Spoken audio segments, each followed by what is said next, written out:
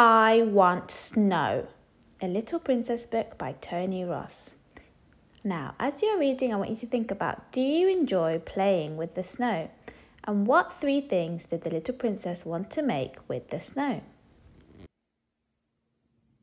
It was the summer holidays, and the little princess was having a picnic in the garden with the king. The queen was away counting penguins at the South Pole. It was so nice at the South Pole that she sent a postcard home. The postcard was of a snowman.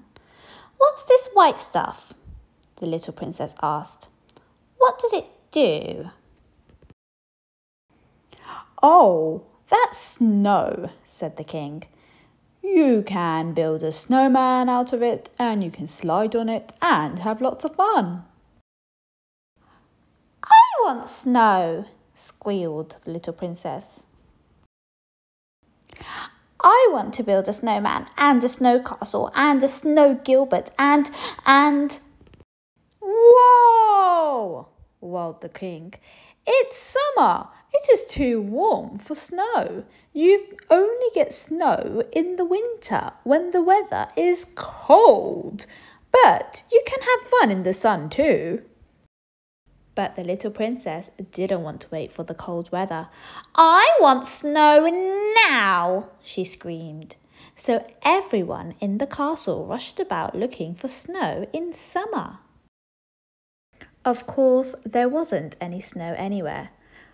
Let's pretend then, said the maid. Let's get dressed up for snow. Brrr, said the little princess, and she put on her coat. Then she put on her woolly hat, her woolly scarf, her woolly gloves, and her big snow boots. She was so hot. I don't like the summer, she gasped. I want snow. In the garden, the Prime Minister built her a snowman out of stones. The little princess looked at it.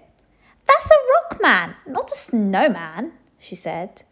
I want snow. At the beach, the Admiral built her a snow castle out of sand. The little princess jumped on it. That's a sand castle, not a snow castle, she snapped. I want snow. Let's have a snowball fight, said the general in the garden, scooping up a handful of mud. The mud ball hit the little princess on the nose. That's not snow, she said. I want snow. As it was too sunny to find snow outdoors, the little princess set off to look in the castle. It's always cold in the castle, she thought. Perhaps I can find some snow there. I want snow, she said to the cook. You're in luck, said the cook. I do happen to have some snow in this cupboard. He handed over a tiny glass globe with Tiny Princess inside. He shook it and tiny snow swirled about. Look, he said, the princess has snow. Pooh, said the little princess. That's not real snow. I want real snow. I'm going to go to bed forever, she shouted, stamping upstairs or at least until it snows. And the little princess stayed in bed forever, only getting up for her meals and to play with her friends and to go to school and to watch a little TV. One morning, the little princess looked out of her bedroom window to see snow falling and a blanket of white over the whole land. She leaped out of bed, put on all of her willies, and rushed out. Her friends all came round and they had a snowball fight. Then they built a snowman and a snow Gilbert and a snow castle.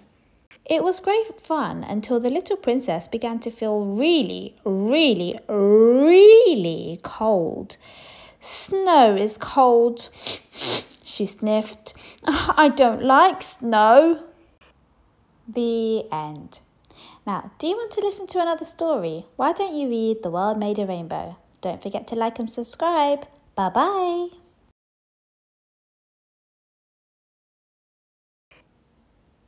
The end.